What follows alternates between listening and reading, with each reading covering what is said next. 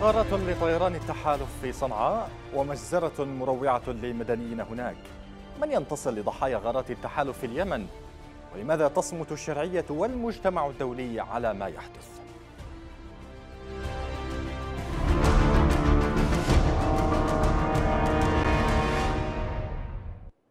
أهلا بكم. نقلت مصادر إعلامية محلية أن مدنيين سقطوا بعد غارة لطيران التحالف استهدفت منزلا في حي رقاص المكتظ بالسكان وسط صنعاء. منظمة أطباء بلا حدود قالت إن هذه الغارات أدت إلى وصول أربعة قتلى وثمانية وأربعين جريحا لمستشفيي الجمهوري والكويت. تأتي هذه العملية مع سلسلة غارات شنها التحالف على جبلي عطان ونقم ومعسكر الفرقة الأولى مدرع ودار الرئاسة. وغارات أخرى على معسكر الصمع بمديرية أرحب شمال صنعاء بما يفهم أنه رد من التحالف على استهداف ميليشيا الحوثي محطتي ضخ نفط تابعتين لشركة أرامكو في السعودية. من جهته أكد التحالف أن العمليات العسكرية جاءت لتحييد قدرات ميليشيا الحوثي وأنها كما يقول تتوافق مع القانون الدولي. وبحسب وسائل إعلام سعودية فإن التحالف أوضح أنه اتخذ كافة التدابير لحماية المدنيين خلال هذه الغارات بعد كل استهداف حوثي للأراضي والمنشآت السعودية يتهيأ المدنيون في صنعاء لاستقبال مأتم جديد تحمل مقاتلات التحالف المحلقة في سماء صنعاء أسئلة مرهقة للمواطنين أين ستكون المجزرة هذه المرة؟ في أي حي؟ وكم عدد ضحاياها؟ هذه المرة سقط الصاروخ على مبنى شعبي من طابقين في حي الرقاص المكتظ بالسكان. وسط صنعاء سقط قتلى وجرحى وتضررت عدد من المنازل المجاورة. الآن ثلاثة جحا. تمام. والأم والأب. باقي قالوا إنه باقي بنت. عاد إحنا بنحاول عليها. معاك ما قدرش لا يتكلموا ولا يقدروا يحكوا وضربوا عليهم. سبعة أو ثمانية من أسرة واحدة. لا يفعل التحالف الكثير لمنع وصول مقاتلي ميليشيا الحوثي إلى مناطق المواجهات في الضالع وتعز والبيضاء لكنه يصاب بالهلع حين تستهدف الميليشيا منشآته مستجمعا كل قدراته على إلحاق الضرر ليصبه على تجمعات المدنيين. بعد كل غارة تستهدف المدنيين يبرر التحالف بأنه قضى على بنك أهداف للمعدات العسكرية والصواريخ البالستية والطائرات المسيرة التابعة لميليشيا الحوثي التي تتواصل ضرباتها ولا يبدو أن مخزونها سيتضرر. استمرار مجازر التحالف تحت لافتة استعادة الشرعية التي يعمل على تقويضها واقعيا يضع الشرعية والأحزاب السياسية أمام مسؤولية أخلاقية وقانونية. تهرع الشرعية والأحزاب السياسية لإصدار المواقف عندما يتعلق الأمر باستهداف هذه البلدان لكنها تصمت وتغيب حين يكون مواطنون يمنيون هم الضحايا. صارت صور المجازر مجرد صور عابرة لا تحرك ساكنا لدى المجتمع الدولي الذي يتعامل بموازين الربح المادي على حساب ضحايا الجرائم التي ترتكبها ميليشيا الحوثي والتحالف. تواصل الدول الكبرى تزويد دول التحالف بالسلاح. وتغض بعضها الطرف عن تهريب السلاح الإيراني للحوثيين ووحدهم اليمنيون من يدفعون ثمن جريمة الانقلاب ونتائج إسقاطه. جدد الترحيب بكم مشاهدينا الكرام إلى هذه الحلقة من المساء اليمني. كما أرحب بمن ينضم إلينا هنا في الاستوديو دكتور عادل دشيل الباحث السياسي. أهلا بك دكتور. مرحبا بك. حياكم الله دكتور. اذا مجزرة مروعة اليوم في صنعاء. جاءت بعد غارات للتحالف. شملت معسكرات أيضا. ضحية المجزرة قتل لعدد لأسرة وما لا يقل عن أربعة أشخاص وعشرات الجرحى. برأيك لماذا يتم لماذا يستمر استهداف المدنيين بهذا الشكل؟ بسم الله الرحمن الرحيم. أولا نأسف وقلوبنا مملوءة بالغبن على أولئك الأبرياء الذين راحوا ضحية وانضموا إلى من سبقوهم من الضحايا ضمن الضحايا الذين يستهدفهم التحالف العربي. هذا يعتبر دليل واضح. على أن التحالف العربي يتخبط في مسرح في عملياته العسكرية مثل الناقة العمياء في الليلة الظلماء ويستهدف الأبرياء. وعلى مدى السنوات الأربعة الماضية والتحالف العربي أكثر غاراته كانت تركز على الأبرياء ولا تركز يعني وكأنها وكأنها تركز يعني مهمتها أن تركز على الأبرياء ويسقط الأبرياء والجماعات الميليشيا الميليشيا الحوثية خارج التغطية تماما. هذه هدية من التحالف العربي لجماعة الحوثي. هذه هدية رمضانية لجماعة الحوثي من قبل التحالف العربي. اليوم التحالف العربي إذا كان يعني استهدفت يعني أماكن استراتيجية حساسة في عمق في العمق السعودي وفي العمق عمق المياه الإقليمية لدولة الإمارات العربية المتحدة كان الأولى بهم أن توجه عملياتهم العسكرية. ضد من يستهدفهم. هذه العمليات التي استهدفتهم هي إيران عبر ميليشيات الحوثية. الحرس الثوري الإيراني متواجد داخل العاصمة اليمنية صنعاء والطائرات الإيرانية. هي من تستهدفهم وليست وليس أبناء اليمن وأولئك الضحايا والأبرياء. اذا نحن الآن هذه تعتبر يعني جريمة إنسانية يعني ضد الإنسانية ونحن ندينها ويجب أن تدينها الحكومة الشرعية. وعلى الحكومة الشرعية أن تتحمل المسؤوليه الأخلاقية الشرعية والقانونية والوطنية تجاه انتهاكات التحالف العربي. وعليها أن تقول للتحالف العربي إلى هنا ويكفي. هذه ليست مهمتكم أنكم تستهدفوا الأبرياء. هذا هذه جرائم ضد البشرية ضد الإنسانية ضد القيم وضد الأهداف التي جاء من أجل التحالف العربي. نحن لا نمتلك أي خيار سوى أن ندين هذه الجرائم وأن نكشف للعالم على هذه عن هذه الجرائم ولكن في المقابل التحالف العربي لدينا ما يسمى بال بال بال يعني فريق تقييم الحوادث. إلى عشرات الحوادث وفريق تقييم الحوادث اليوم يقولوا بأنهم سيحيلوا هذا للتحقيق أو لفريق الحوادث. يا أخي لا نريد تحقيق نريد أن تكف الأذى عن الأبرياء. لماذا تستهدفون الأبرياء؟ حتى لو لم لو كان هناك هناك أنباء تقول بأنه كان هناك اجتماع لجماعة الحوثي جنب هذا المكان أو في منزل أحد القيادات الحوثية. هل, هل يبرر ذلك استهداف لا يبرر ذلك لا يبرر ذلك. لابد أن يكون هنا هناك أهداف عسكرية واضحة هناك معسكرات واضحة هناك أماكن عسكرية هناك خطو هناك يعني هناك يعني ما يسمى بال يعني أماكن لتجمعات الميليشيات الحوثية متواجدة متواجدة في نهم متواجدة في الجوف متواجدة في صعدة متواجدة في الحديدة متواجدة في كل مكان تسرح وتمرح بعروض عسكرية ليل نهار. لماذا لا يستهدف التحالف العربي؟ على التحالف العربي ألا يعتمد على الرسائل التي تأتي عبر الواتساب. نحن في معركة. أين هي اجراءات التحالف؟ أين هي يعني الدعم اللوجستي الأمريكي والبريطاني للتحالف. أين الاستخبارات التحالف العربي؟ هذه جرائم ضد الإنسانية. ولن تزيد الطين إلا بلة. وأيضا هذا دعم من قبل التحالف العربي للحكومه للحوثي بطريقة مباشرة أو غير مباشرة. وعلى الحكومة الشرعية أن تفهم رسائل التحالف العربي. كيف يكون ذلك دعما لميليشيات طبعا عندما يكون مثلا الآن هم يقولون بأنهم جاءوا لدعم الحكومة الشرعية. أليست الميليشيات الحوثية الآن في التحيته الان الان الآن هناك أنا كلمني رئيس ما يسمى بلجنة الانتشار في الجانب الحكومي قال بأن الميليشيات الحوثية تقوم بحشد يعني الكثير من أبناء القبائل في محافظة إبو بعض المناطق لاجتياح التحيتة واجتياح مديرية حيز في الحديدة. لماذا التحالف العربي لا يوجه يعني رصاصة ويوجه طيران لهؤلاء الذين يريدون اقتحام التحيتة وأيضا منطقة حيز؟ لماذا لا يقوم باستهداف باستهداف تلك الميليشيات المسلحة التي تريد أن تقتحم الضالع وتقتحم المناطق الجنوبية؟ لماذا لا يفك الحصار عن محافظة تعز؟ لماذا لا يستهدف تلك الميليشيات التي التي ترابط في في في حدود محافظة الجوف. أين؟ لماذا لا يستهدف الميليشيات الحوثية التي هي متواجدة في جبل هيلان ويشرف على محافظة يعني تحت الآن مأرب تحت رحمة جماعة الحوثي؟ باستطاعة جماعة الحوثي أن توجه صاروخ واحد إلى داخل مأرب وأن تستهدف المارة الطريق الرابط ما بين الجوف ومأرب وجبل هيلان مطل هكذا والجيش الوطني من هنا وهنا والتحالف العربي لا يحرك ساكنا. إذا هذه هذا يعتبر دعم بطريقة مباشرة أو غير مباشرة. نحن نحمل التحالف العربي المسؤولية الكاملة وعلى الحكومة الشرعية أن تحمل التحالف العربي وعليها أن تقول كفى عليها أن تستر إدانة عليها أن توضح للشعب اليمني. هذه حكومة حكومة شرعية معترفة من العالم أجمع. ولذلك لا نمتلك أي خيار سوى أن أن أن, أن ندين هذه الجرائم وعلى المجتمع الدولي أن يتحمل مسؤوليته الأخلاقية. طيب سنتحدث عن دور المجتمع الدولي وكذلك عن دور الحكومة. لكن قبل ذلك هذه يعني الاستهداف الذي حصل لصنعاء اليوم جاء في سياق توقيت أنه آه، جاء بعد آه، حادثة استهداف آه، شركة أرامكو في السعودية أو يعني محطتي ضخ للنفط تابعتان لشركة أرامكو من قبل طائرات مسيرة تبنت جماعة الحوثي هذه العملية هل هذا يعني يفهم منه يعني هل ترى أنت أن هذه العملية جاءت ردا على هذا الاستهداف أم في أي سياق تضعها؟ طبعا إذا كانت جاءت ردا على هذا يعني على هذا الاستهداف لماذا يستهدف بعد كل عملية تقوم بها الجماعة الحوثية ضد التحالف العربي يستهدفون الأبرياء. لا نعرف كيف يفهموا. لا نعرف كيف يتحرك التحالف العربي. من الذي يحرك التحالف العربي؟ من الذي يعطيها الإحداثيات؟ هناك قد ربما هناك مخطط لإدخال التحالف العربي في دوامة يعني الجرائم ضد الإنسانية. الآن المجتمع الدولي يسجل هذه الجرائم.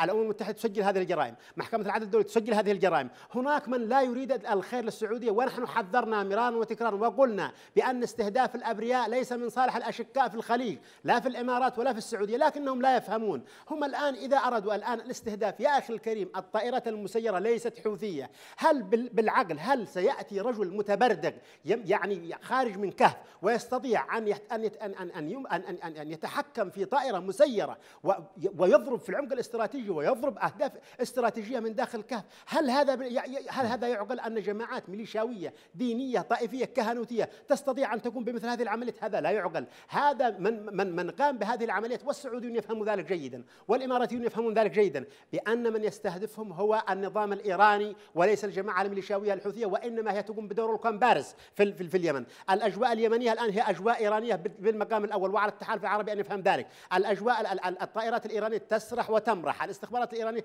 تسرح وتمرح داخل الأراضي اليمنية. ولكن التحالف العربي دائما يعني يستهدف الأبرياء. لا نعرف يا أخي ردوا على إيران. يا أخي يستهدفكم في المياه الإقليمية. ردوا على إيران في, في, ساحل عمان. ردوا على إيران في مضيق هرمز. ردوا على إيران في حدود العراق. ردوا على إيران. هناك ميليشيات الآن تستهدفكم أنتم. لماذا تستهدفون الأبرياء؟ هناك مخطط للتفكيك السعودي وبالتالي أنا أعتقد أن السعوديين إذا استمروا في غيهم في استهداف الأبرياء فإن عدالة السماء ستنالهم قبل عدالة الأرض. طيب في سياق قراءة هذه الحادثة في سياقها الزمني والمكاني أيضا. أن تشير إلى أن العملية لن يستطيع الحوثيون القيام بها دون مساعدة خارجية تحدد إيران بالتحديد في سياق القيام بهذه العملية وإعانتهم. لكن أساسا يعني في قراءة الرسائل التي تعطيها استهداف منطقة تبعد عن الحدود مع اليمن بما يقارب 800 كيلومتر. ما هي الرسائل التي تعطى في هذا السياق؟ يعني هل يبرر ذلك؟ ما حدث اليوم في صنعاء؟ لا لا ليس هناك أي مبرر لاستهداف العاصمة اليمنية صنعاء الآن لا توجد هناك أهداف عسكرية داخل صنعاء تماما. الأهداف العسكرية متواجدة خارج شارع الرقاص وشارع هائل ومناطق مكتظة بالسكان. كما قلت لك قبل قليل هذا مؤشر على أن التحالف العربي لا توجد لديه استراتيجية حقيقية لمواجهة الانقلاب الانقلابيين في العاصمة اليمنية صنعاء والمناطق التي يسيطر عليها الحوثيين. ولذلك التحالف العربي أنا أعتقد أن هناك من يعطيها الإحداثيات عن الخطأ كي يورط في جرائم ضد الإنسانية والتحالف العربي لا أعرف كيف يفكر في ذلك. ذلك. وبالتالي التحالف العربي اليوم هو أمام مسؤوليات قانونية ومسؤوليات أخلاقية ومسؤوليات دينية وأيضا جنائية. هذه جرائم حرب. هذه جرائم ضد الإنسانية أن يستهدف منزل وأن يدمر منزل على ساكنيه وأطفال وأن نرى تلك الجرائم المروعة تحت طيران التحالف العربي وأن يضرب الأبرياء. ما, ما, ما الذي يجري؟ لكن تشير دكتور إلى يعني مسألة إحداثيات. في الأخير هل من المنطقي أن يعتمد التحالف وهو يواجه كل يعني كما يتحدث كثيرا أنه يواجه ضغوط من من مجتمع المدني ومجتمع حقوق الإنسان الدولي بشكل عام الذي يعني كما يقول يعني كما يقال يراقب على كل صغيرة وكبيرة، هل يمكن أن يعتمد فقط على إحداثيات ترفع في لحظة ما وقد تكون خاطئة وكثيرا ما أخطأت هذه الإحداثيات يعتمد عليها فقط، ليس هناك تقنيات حديثة أكثر يعتمد عليها في سياق معركته أمام هذه الميليشيات الإنقلابية؟ طبعا قد لا يستبعد أن هناك الاستخبارات دول أجنبية يعني متورطة في هذا تعطيه في هناك دعم لوجستي ونحن نعرف هناك دعم لوجستي أوروبي وأمريكي للتحالف العربي، قد ربما أن تكون هناك استخبارات دولية متورطة في هذه الحوادث.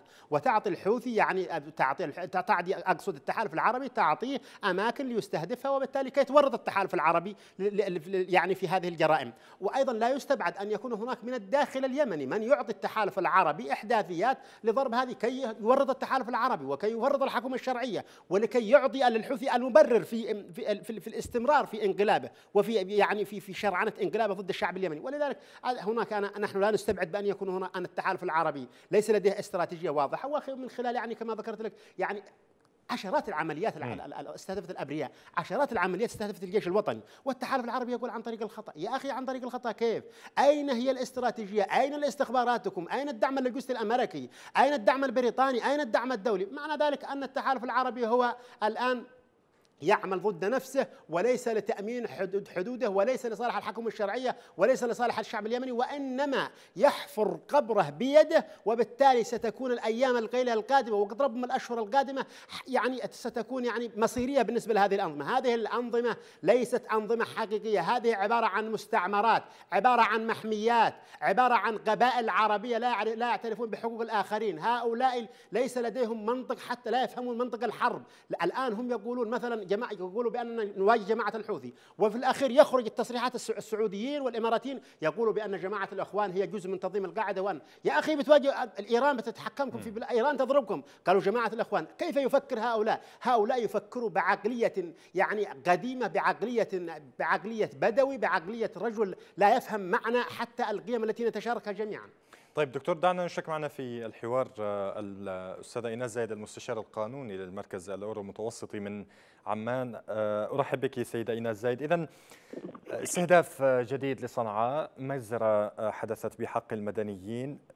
هناك ادعاء دائم للتحالف بقول أنه ملتزم دوما بما يتعلق بقواعد الاشتباك في الحروب. هل ما يحدث هل ما شاهدناه اليوم التزام بقانون الدولي لحقوق الإنسان؟ أو القانون الدولي الإنساني. تفضلي تفضلي أستاذ إيناس. أستاذ إيناس هل تسمعيني؟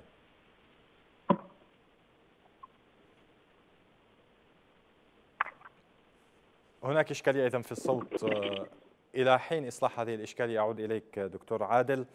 في سياق الحديث عن ال- ال- المواقف آه، أشرت إلى مسألة عدم وجود موقف من الحكومة الشرعية. لكن هناك تصريحات في حين وآخر آه، آه، في سياق آه، اللوم ويعني في سياق رفع العتب كما يقال على الأقل هكذا يصفها كثيرون فيما يتعلق بأنهم يقولون آه، آه، مسؤولين حكوميين يعني يصدرون تصريحات يقولون أن أي استهداف للمدنيين هو استهداف مرفوض هل يكفي ذلك في سياق ما ما يجري؟ الحكومة الشرعية هي ليست جمعية خيرية أو منظمة حقوق إنسان أو منظمة أممية أو منظمة محلية أو إقليمية. هذه دولة. وينبغي أن تكون أن يكون هناك اجتماع طارئ لصانع القرار اليمني وأن يقول التحالف العربي لا. وهذه هي أجندتنا وهذه هي أهداف التحالف العربي وهذه هي مشروعية التحالف ونحن من أعطاكم التشريع ونحن من أعطاكم الت- الت- التدخل يعني تدخلوا في هذا في هذا الشأن لكي تنقذونا. لم نستدعيكم لكي تضربوا الأبرياء. إذا كان هناك موقف حازم من قبل الحكومة الشرعية ومن قبل صانع القرار اليمني أعتقد التحالف العربي لن لن يستطيع أن يحرك ساكن. هذه دولة.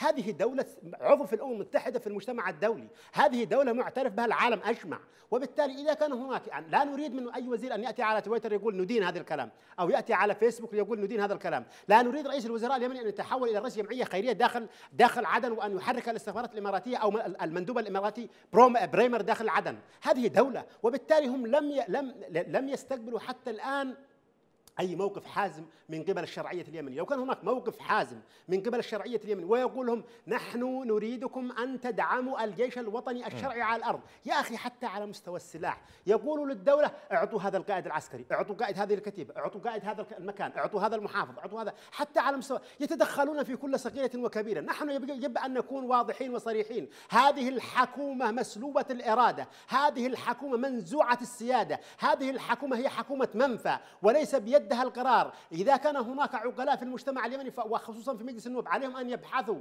عن دولة يمنية تحمي حقوق المواطن البسيط. هذه دولة مسلوبة دولة متواجدة في الخارج وزير في القاهرة وزير في عدن وزير في الرياض وزير في إسطنبول وزير كذا. هذه الدولة لن تحرك لن, لن تزيد الطين إلا بلة لن تستطيع أن تقدم شيء. نريد دولة يمنية متواجدة نريد حكومة حرب تتواجد على الأرض نريد حكومة أن تقول نحن هنا نحن هنا وينبغي على التحالف العربي ألا يمر إلا عبرنا. يا أخي من يتحكم في الأمور هو التحالف العربي. من يتحكم في الأمور هو ال- ال- ال- المحتل ال- الإماراتي داخل عدن. يجب أن نكون صريحين وواقعين. أما رئيس ال- الدولة هو متواجد داخل قصر محاصر ولا يستطيع أن يفعل شيء. وبكل تأكيد هذه الرسائل يجب أن تصل تعود إلينا السيدة إيناس زايد عبر الهاتف من عمان. أرحب بك مجددا أستاذة إيناس. الصوت واضح لديك؟ نعم مساء الخير لكم ولجميع المشاهدين. حياكم الله أهلا وسهلا. إذا يعني في سياق آه، الحديث من قبل التحالف دوما على التزامه بقواعد الاشتباك في الحرب خاصة فيما يتعلق في غارته في اليمن اليوم نشاهد عملية أو مجزرة حدثت في صنعاء في أي سياق تضعينها؟ نعم يعني هي كما وصفت نعم هي مجزرة وهي جريمة حرب أيضا وتعتبر انتهاك خطير للقانون الدولي الإنساني آه، وهي تخالف بشكل مطلق الاتفاقية جنيف الرابعة آه، لحماية المدنيين التي تحظر في المادة الثالثة منها الاعتداء على الحياة والسلامة البدنية وبخاصة القتل بجميع أشكاله. يعني ما نشهده اليوم هو آه، يعني استمرار لسلسلة الانتهاكات وأيضا استهداف المباشر للمدنيين على الرغم من التحذيرات التي يعني أطلقت من العديد من يعني الجهات الدولية والمجتمع الدولي حول استهداف المدنيين بشكل خاص وأيضا ضرورة التزام كافة الأطراف بقواعد القانون الدولي الإنساني ومنها قاعدة التمييز بين المدنيين والعسكريين وأيضا الضرورة العسكرية. وهذا ما لم نشهده اليوم في الجريمة النكراء التي حدثت بحق هؤلاء المدنيين حيث تم استهداف المنازل مباشرة عوائل راحت ضحية هذا الاستهداف بالإضافة إلى أن الاستهداف كان بواسطة الطائرات ويعني الاستهداف المباشر بأسلحة آه، يعني يعد ضررها آه، منتشر على نطاق واسع، لذلك فهذا بالمطلق يخالف كافة قواعد القانون الدولي الإنساني وهو أيضا يعبر عن آه، استخفاف بالارواح البشرية وأيضا استخفاف بكافه منظومة القانون الدولي لحقوق الإنسان. طيب في سياق أن هناك من يتحدث عن وجود قيادات عسكرية كانت في منطقة قريبة من المنزل الذي استهدف. ما هو الموقف هنا؟ ما هو الموقف القانوني هنا عادة؟ لا يبرر وجود آه، يعني آه، يعني أشخاص أو عسكريين أو حتى قاعدة عسكرية بجانب الأحياء المدنية، هذا لا يبرر ابدا الاستهداف المباشر لهذه آه، الأحياء خاصة عندما نتحدث عن أسلحة. كما ذكرت لك واسعة الدمار وواسعة الانتشار، يجب أن تراعى مصلحة المدنيين بالدرجة الأولى، يجب أن يتم إيلاء الاعتبار الأول لوجود أبرياء وليسوا يعني اطرافا في النزاع وليسوا أيضا أيضا ولا يحملون صفه العسكريين، اليوم أيضا راح ضحيه هذا الاستهداف عاملين في المجال الإنساني وعاملين في المجال الإغاثي، وهذا الأمر أيضا يعد جريمه حرب، لذلك فلا يبرر وجود آه، جهات يعني أو أشخاص عسكريين في المنطقة، آه، كان الأجدر والأولى بأن يتم آه، تجنب استهداف هذه الأحياء، يعني هذا الأمر لا يقرأ إلا في سياق انتقامي بحت، هذا الأمر لا يقرأ إلا في سياق استهداف كما ذكرت، وأيضا تجنيب وغياب لقواعد الاشتباك لأنه يفترض في أي قوه عسكريه ان يكون لديها قواعد اشتباك أن يكون هناك أيضا يعني سبق آه، تحذير أو إنذار للسكان المدنيين بإخلاء المواقع إن كان هناك فعلا استهداف لمواقع عسكرية ولكن هذا لم يحصل ولم يتم اتباعه. وهذا الأمر الذي يضفي آه، يعني صفة الجريمة على ما حدث اليوم ويطلق عنها كافة يعني كافة الشرعية إن صح التعبير شرعية الاستهداف للمواقع العسكرية. العسكرية استهداف المواقع المدنية يعني ليس آه، آه، ليس سابقة يعني لم يحدث للمرة الأولى هناك آه، أكثر من مرة حدثت قبل ذلك. التحالف في كثير من الحالات قال أنه سيحيل هذه العمليات للتحقيق للجنة يعني خاصة لديه. تقريبا هناك أخبار أو أنباء تتحدث على أن العملية اليوم التي حدثت ستحال إلى ذات اللجنة. برأيك هل هذا الإجراء كافي؟ يعني لم يسبق من خلال يعني مشاهداتنا ومن خلال ما رصدناه لم لم يسبق أن تم إحالة أي حالة من حالات الاستهداف المباشر للمدنيين إلى لجنة التحقيق التابعة للتحالف أو أو أو كما يسمونها يعني لجنة التحقيق في المشترك المشترك. لذلك لا يم لا لم يكن هناك سبق إحالة إلى هذه اللجنة ولم يتم التحقيق وفتح تحقيق جاد ويعني شفاف في هذه الاستهدافات خاصة أو بما فيها الاستهداف الذي تم عن طريق الخطأ والذي صرحت آه، به قوات التحالف أكثر من مرة. لذلك فلا نجد أن هناك جدية في فتح التحقيق لا يوجد هناك جدية في محاسبة هؤلاء الأشخاص. أيضا لا يوجد آه، هناك إشارة واضحة للقادة العسكريين لأنهم هم المسؤولون ليس فقط الجنود الذين يقومون بالاستهداف أيضا القادة العسكريين هم أيضا مسؤولون ولكن لا يوجد هناك أي جدية في محاسبة هؤلاء الأشخاص. آه، ما يثير القلق حقا هو أيضا أيضا غياب دور المجتمع الدولي في محاسبه هؤلاء الأشخاص وقد سبق وأرسلت الأمم المتحدة يعني فريقا للتحقيق في ال ال هذه الجرائم وأصدرت تقريرا هذه اللجنة وفريق الخبراء اصدر تقريرا يدين كافة الأطراف ولكن لم يتم يعني إتباع هذا التقرير لماذا برأيك سيدة إيناس؟ لماذا. برأيك إذا يغيب يعني الصوت الدولي فيما يتعلق بالضغط فيما يتعلق بهذه الجرائم التي تستهدف المدنيين اليمنيين. يعني لا يوجد لا يوجد هناك على ما على ما يبدو لا يوجد لدى المجتمع الدولي الإرادة السياسية لإنهاء الصراع في اليمن لإنهاء نسف الدماء ووقف هذا الهدر للدماء يعني نحن نتحدث اليوم عن يعني أعداد بالآلاف يعني حسب آه يعني بالإحصائيات الأخيرة آه ومنظمة الصحة العالمية يعني هناك 10000 يمني نقوا مصرعهم منذ بدء عمليات التحالف العربي في اليمن منذ 2015 وهذه الآلاف لم يحفل بها المجتمع الدولي لإيقاف نصف الدماء وما زالت الدماء تنزف ولا يوجد هناك أي تحرك على المستوى الدولي رغم المناشدات ال ال رغم رغم المناشدات لذلك الأمر، لذلك فنحن نجد بأن يعني لا لا يوجد مبرر، لا يوجد أي يعني لنقل تبرير لقيام المجتمع الدولي بالصمت واستمرار الصمت عن هذه الجرائم، لابد من التحرك، لابد من اتخاذ خطوات تضمن عدم تعسف أطراف النزاع وعدم استمرارهم في ارتكاب هذه الجرائم بحق المدنيين.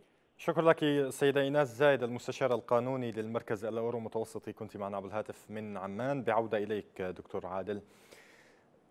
تحدثنا عن دور الحكومة لكن قبل ذلك إذا لم تكن هناك حكومة يفترض أن يكون هناك يعني تيارات سياسية أحزاب سياسية. هذه الأحزاب السياسية نفسها التي أدانت ما حدث في السعودية قبل يومين من تفجير أو من استهداف محطات ضخ أنابيب النفط.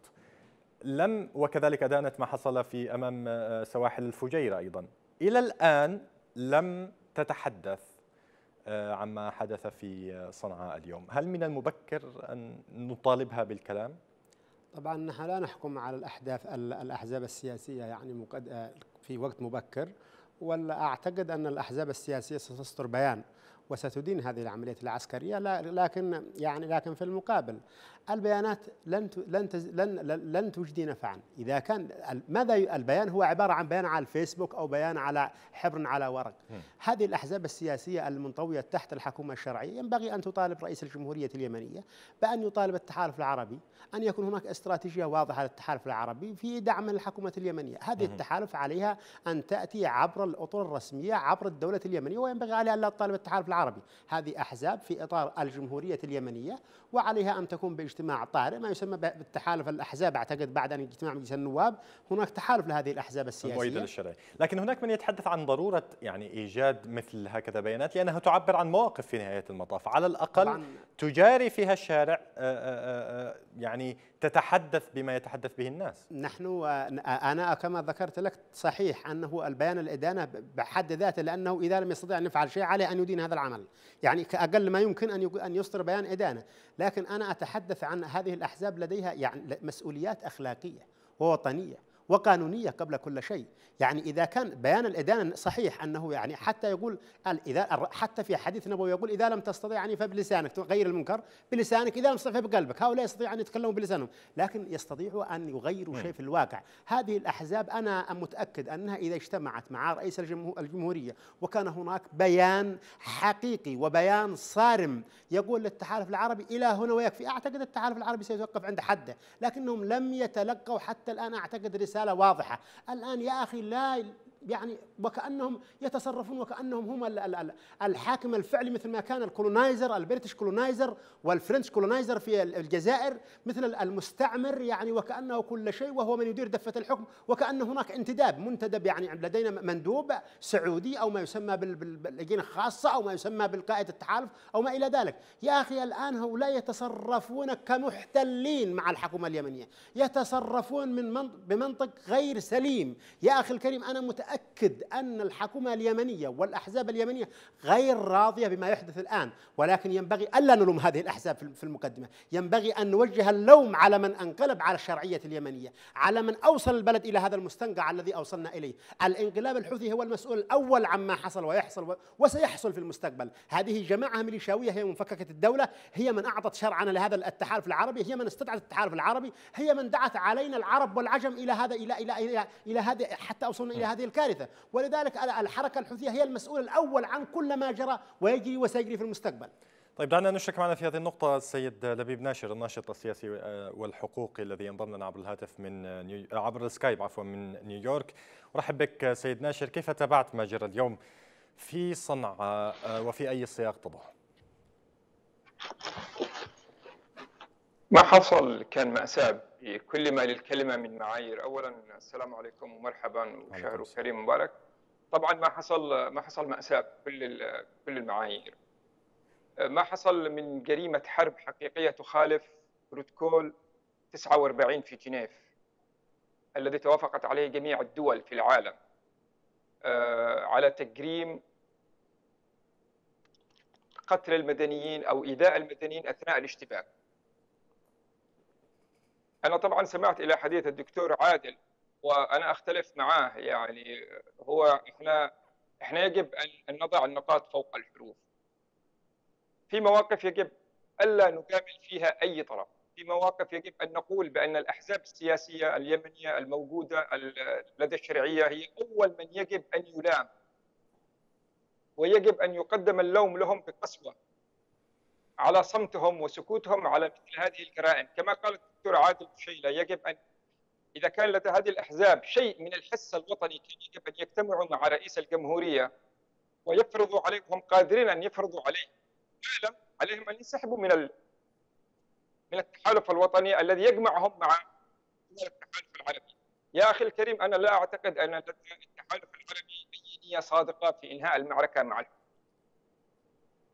تقدم الحوثي إلى حجور وإلى العرب بآلاف المقاتلين.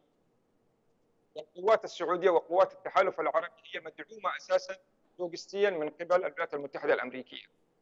هذا الدعم اللوجستي الذي رفض الرئيس ترامب أن يوقفه على قوات يقدم معلومات دقيقة من الجو لتحركات الحوثيين على الحرب على الأرض كمقاتلين. لا يحتاجوا إلى أن يقصفوا بيت في حي سكن.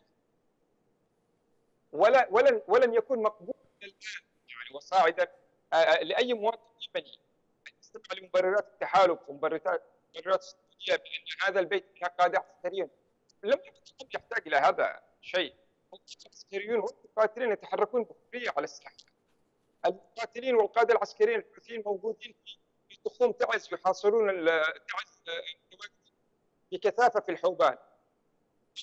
ساجدين في قعقبة آلاف. التحالف العربي والسعودية لا يوجد لديها أي مبرر لقصف داخل صنعاء يداهن ومن يقول ان أن هناك مبرر أو سبب لما فعلته اليوم فهو يكذب على نفسه ويكذب الناس ويكذب أنه ويكذب أنه أصلا مع الشرعيه ويكذب أنه ضد الحوثي طيب سيد لبيب هناك من يتحدث على أن أيضا هناك مسؤولية على الدول التي تزود التحالف بهذه الأسلحة فيما يتعلق بالاستخدام الذي يحدث لها في الحرب باليمن، إلى أي مدى هذا الكلام يتوافق مع القانون الانساني الدولي وقوانين حقوق الإنسان؟ بالطبع هو يجب إذا ثبت أن هناك أي دولة تستخدم أسلحة في جرائم الحرب أو ضد المدنيين في أعمال ضد الإنسانية يجب أن يقف تصدير الأسلحة لها وبيع الأسلحة لها من قبل الدول الموردة. وهذا فعلا ما حصل بطبيعه الحال طبعا كل التصرفات اللي تقوم بها قوات التحالف العربي وتؤدي إلى سفك دماء المدنيين في اليمن يحرج جميع الدول الداعمة للتحالف وأمريكا والولايات المتحدة الأمريكية في في مقدمتها. هذه التصرفات التي يفعلها قوات التحالف مليون بالمية يعني هي تحرك تماما الإدارة الأمريكية الحالية وتجعلها في موقف صعب جدا. آه، لا نستطيع أن نقول أن لدى منظمات حقوق الإنسان القدرة هنا على أن آه، تعمل رد فعل مباشر على كل حادثة تقوم بها قوات التحالف ولكن هي عملية تراكمية. هي عملية تراكمية. يجب أن يتم تجميع الأحداث هذه جميعا. وتقديمها إلى المحاكم الدولية أو على الأقل تقديمها إلى الحكومات الذي تدعم قوات التحالف.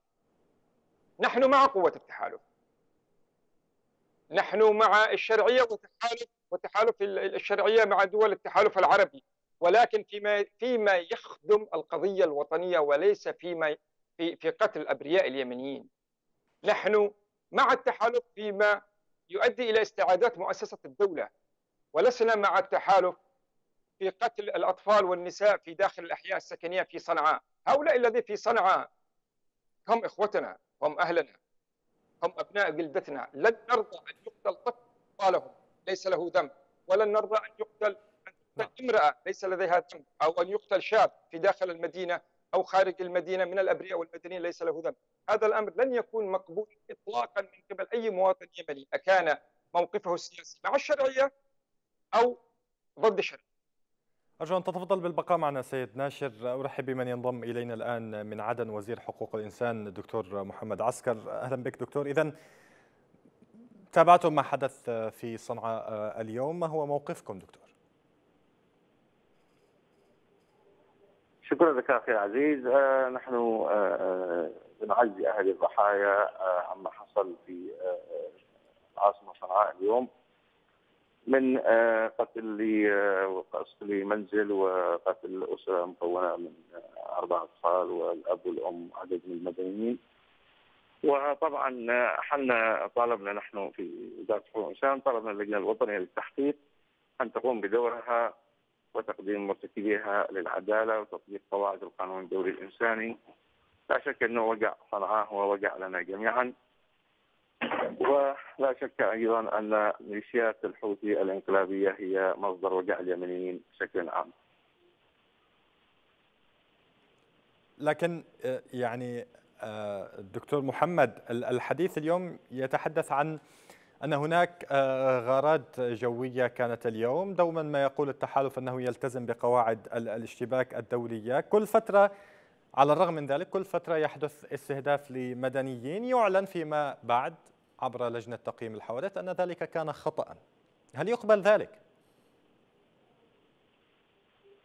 آه لا طبعا. تعرف كل الحروب تحصل فيها بعض الأخطاء وهناك آه يعني قواعد الاشتباك وعلى التحالف أنه يعيد تقييم هذه القواعد باستمرار. أيضا تقييم للأهداف العسكرية.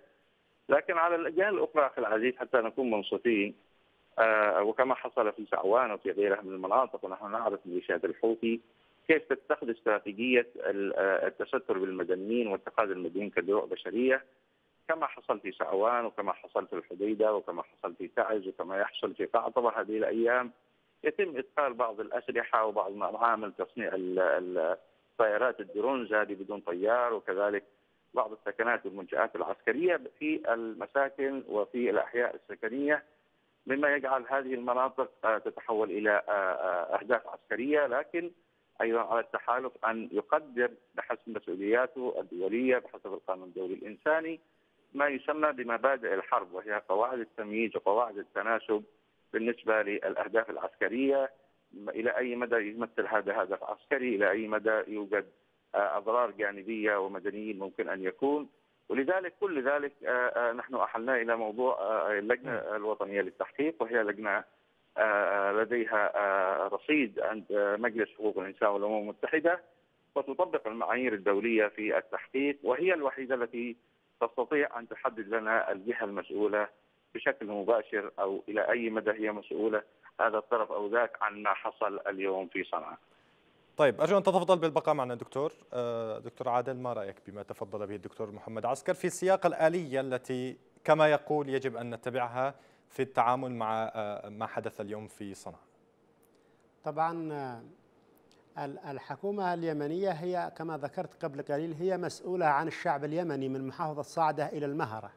وبالتالي التحالف العربي لدعم الشرعية كما ذكرت ينبغي ألا يستهدف الأبرياء وينبغي أن يكون هناك رسالة قوية وأن يكون هناك موقف حازم من قبل الحكومة اليمنية للتحالف العربي بأننا لسنا معكم ضد الأبرياء. ونحن الحكومة عندما تقول بأن هناك آلية للتحقيق في مثل هذه الحوادث أين هو فريق تقييم الحوادث التابع للتحالف العربي من الجرائم التي ارتكبت ضد الأبرياء في الماضي؟ نحن لا نريد أن يكون الضحايا من أبناء الشعب اليمني إما أن يستهدفهم الحوثي بالألغام الأرضية هناك مئات الآلاف من الألغام تستهدف الأبرياء في كل مناطق التي يسيطر في المناطق التي يسيطر عليها جماعة الحوثي والتحالف العربي يستهدف الأبرياء من الجو. لا يعني نريد يعني هل هذه الآلية التي يتحدث عنها الدكتور محمد عسكر آه، مناسبة من وجهة نظرك؟ ليست كافية وليست مناسبة في الوقت الحالي. نحن الآن في مرحلة حرب وينبغي أن يكون هناك آلية صارمة لحماية المدنيين وينبغي على الحكومة الشرعية أن أقل حال أن تتقيد بالقانون الدولي الإنساني وبقانون الحرب وبقانون قواعد الاشتباك. والحكومة الشرعية هي من يعني من اعطت التحالف العربي الضوء الاخضر لكي يتدخل في اليمن. وبالتالي ينبغي أن يكون هناك آلية واضحة لتحييد الأبرياء مهما كان هناك اجتماع لجماعة الحوثي وما إلى ذلك. أما مثل هذه الآليات فلن تكون إلا عبارة عن مثل الآليات التي كانت في الوقت السابق وستنضم إلى الملفات السابقة ولن نرى أي شيء على الأرض لصالح الأبرياء واولئك من الذي سيعطي يعني مثلا سيعوض هؤلاء الأبرياء؟ لا آلية تعوض هؤلاء الأبرياء؟ هناك كثير من الأبرياء سقطوا في هذه الحرب.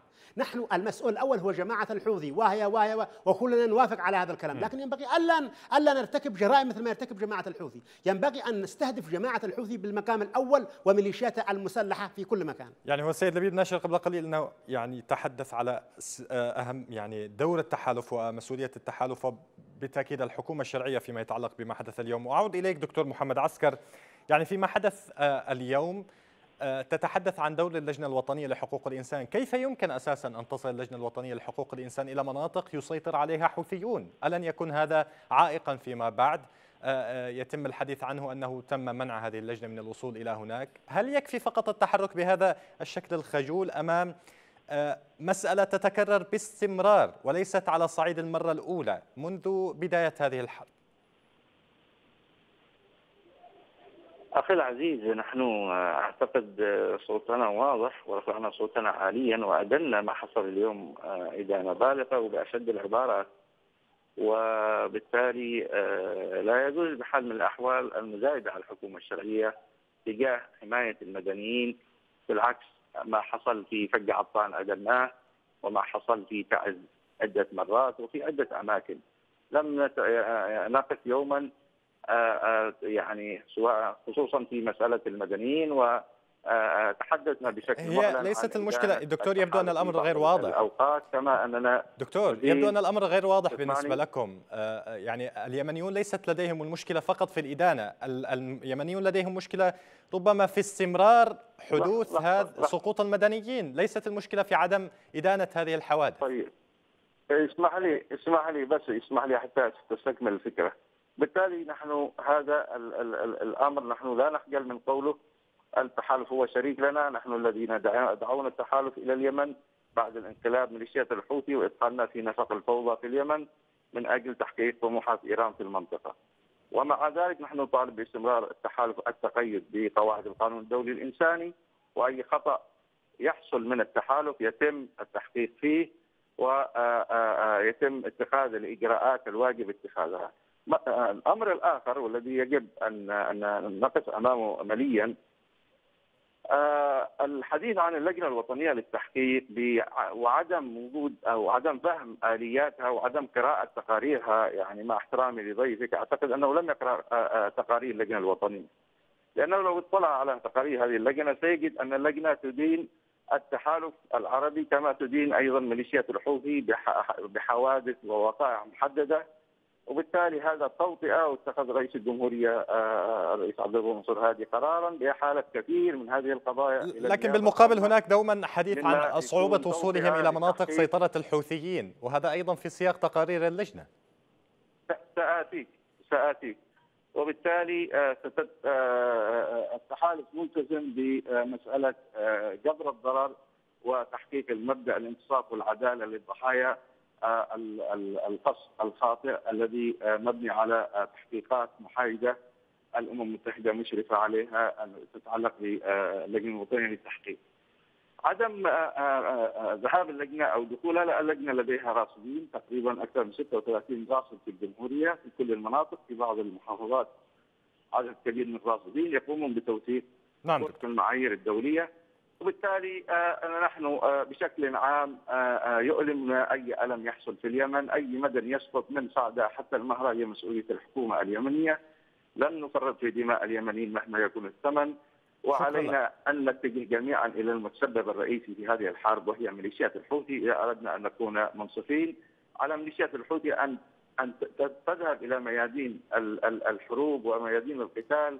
لا أن تذهب إلى مساكن المواطنين والموظفين والنساء وبطبيعة الحال اليمنيون يقاتلون هذه الميليشيات كما كما استطاعوا آه، إلى ذلك. أشكرك دكتور محمد عسكر وزير حقوق الإنسان كنت معنا بالهاتف من عدن بعودة آه، إليك سيد لبيب ناشر. ما رأيك بما طرحه الدكتور آه، في سياق الحديث عن موقف الحكومة من ما حدث؟ أنا مع احترامي للأخ وزير حقوق الإنسان. أعتقد إنه كان في صدد الترويج لل للجنة الذي أنشأتها وزارته وهو يعلم تماما أن لا سلطة للجنته ولا لراصديه في داخل صنعاء. عملية نحن كلنا نعلم ماذا تعني عملية رصد آه، قصف قوي أو عملية رصد آه، آه، حادثة من من من حوادث أو من جرائم الحرب. تحتاج إلى أن يذهب الراصد إلى إلى المنطقة تحتاج إلى أن الراصد يسأل جميع الجهات الرسمية وغير الرسمية وهو يعلم تماما أن الراصدين التابعين للجنته لا يستطيعون أن يعملوا هذا الشيء.